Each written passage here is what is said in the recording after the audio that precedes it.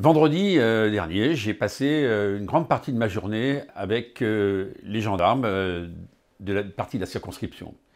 Je suis d'abord allé à Bonneval où j'ai été accueilli par le major Legal et son équipe dès 15 heures pour comprendre leur mission plus encore, voir justement les conditions dans lesquelles ils travaillaient, voir les matériels dont ils disposaient, les outils informatiques, les véhicules, voir aussi les procédures qu'ils ont à conduire.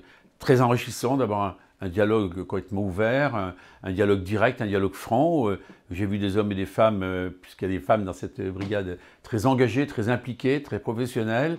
Et euh, nous sommes passés par différentes étapes, aussi bien une garde à vue que des contrôles de rodéo, que de venir en aide à quelqu'un dont la voiture avait été dégradée, que de rapporter à une personne qui avait laissé quelque chose dans les rues de Bonneval. Bref, j'ai vu des hommes et des femmes très engagés. Le soir, ensuite, je suis allé à, Châteaudun avec le lieutenant Maillard et ses équipes. Et là, on a pu faire, euh, euh, avec euh, un véhicule, des tournées sur toute la ville de sommes même allés à, Clos et Trois-Rivières, voir ce travail d'îlotage, parce que eh bien, le soir, les gendarmes veillent de manière à ce que l'on puisse assurer la sécurité de chacun.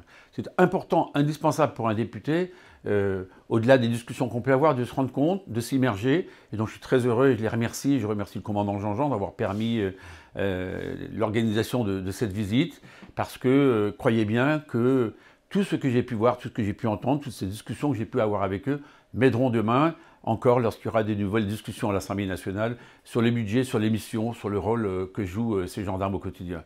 Et puis dans quelques jours, j'irai à la rencontre des pompiers, parce que pour moi c'est important aussi. Ils participent naturellement à cette protection des concitoyens et j'irai partager une journée avec eux. Merci à eux, merci de leur engagement et je suis fier euh, d'avoir passé euh, une grande partie de ma journée avec eux.